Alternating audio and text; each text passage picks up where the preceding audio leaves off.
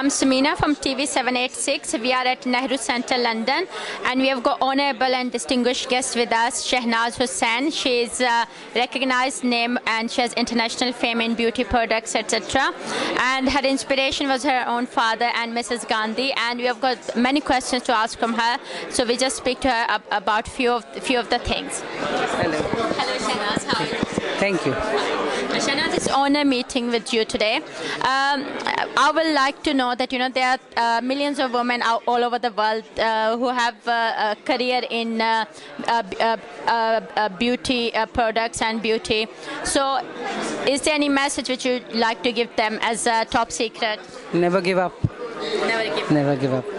And never take any failure as an established fact.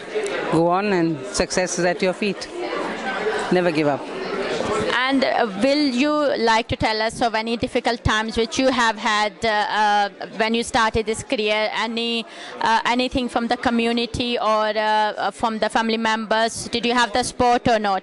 Uh, this is all excuse community and family support. If you've made up your mind, nobody can stop you. If you haven't made up your mind, then anything can stop you. So I don't think community or family support has anything to do with your personal success. If you have grit and determination, you can conquer the world. And uh, the feedback which you have about your products and uh, the response which you have from your clients, uh, will you like to talk about it a little bit? Well, there's no question of great feedback. I mean, treatments and cures like falling hair, dandruff, acne, pigmentation, anything to do with problems.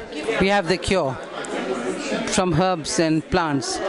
So as far as I am concerned, we constantly, Baba, Baba, Baba, I'm doing an interview. It's a side note, I'm interviewing. We're doing treatments from plants. So as far as I'm concerned, uh, we uh, promote India's 3000 BC civilization in a jar, isn't it, sir? Selling cosmetics to West is not easy, it's very, very tough. But uh, I've survived in a very ferocious, very volatile, and a very explosive environment where, you know, it's not possible to survive unless you're very, very good. You know, if anybody enters Selfridges, they buy Dior, not, not available, by Lauder, not available, by Yardley or Revlon. They come to Shahnaz, not available, they go back and come back.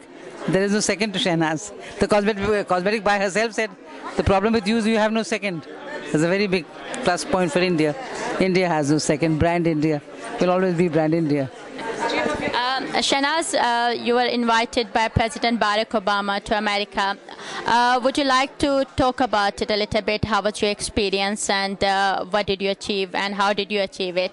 I didn't achieve anything. I was just invited as a delegate. I spoke on India, on Ayurveda, on, on woman power. And of course, I'm grateful that Obama had this particular Congress. As I say, that we should be grateful a man like Obama walks the earth.